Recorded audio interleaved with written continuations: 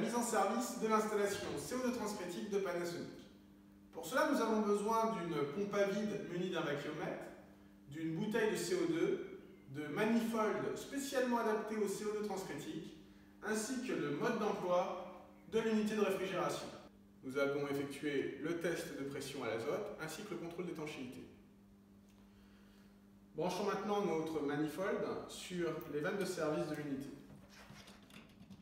Dans le mode d'emploi de l'unité de réfrigération, on retrouve une procédure pour effectuer le tirage au vide de l'équipement. Cela va permettre d'ouvrir les différentes électrovannes et détendeurs électroniques contenus à l'intérieur de l'unité.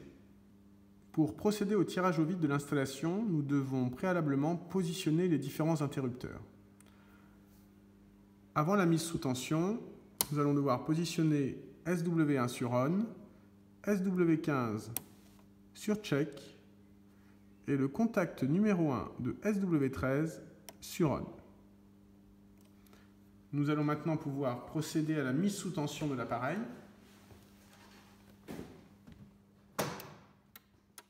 Nous allons maintenant positionner SW11 sur opération.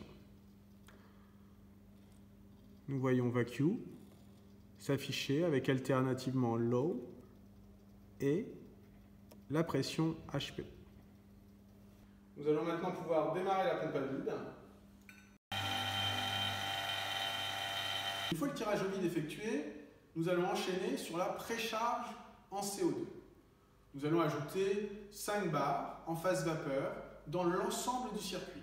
Avant de finir la charge de réfrigérant, nous allons procéder au réglage des consignes de régulation de l'installation.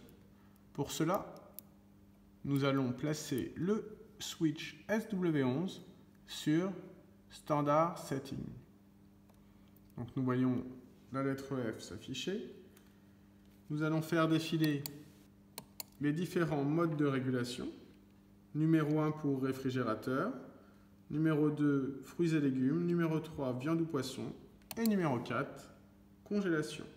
Le compresseur va donc réguler en fonction d'une pression d'évaporation comprise entre 14 et 15 bars. Une fois les pré-réglages effectués, nous allons procéder à la charge de réfrigérant en phase liquide côté haute pression de l'unité. Pour cela, nous avons préalablement fermé notre détendeur électronique. Lors de la charge en réfrigérant, nous n'avons pas atteint la quantité prévue. Donc nous allons démarrer l'unité, puis affiner la charge en phase vapeur côté basse pression. Voilà, donc on a mis en route notre chambre froide. Du coup, le contact du régulateur a envoyé l'information sur notre unité. Le compresseur s'est mis en route, le ventilo aussi. Donc nous allons maintenant pouvoir affiner la charge de réfrigérant. Nous avions prévu de mettre 1,5 kg jusqu'à avoir les 1,5 kg que nous avions préalablement définis grâce au tableau Excel fourni par Panasonic. Enfin, nous allons réaliser un relevé de fonctionnement qui va nous permettre d'analyser si les surchauffes, les températures d'aspiration et de refoulement, les pressions sont correctes et correspondent aux préconisations de Panasonic. Nous allons pouvoir tracer rapidement un cycle sur le diagramme enthalpique afin de vérifier ces paramètres.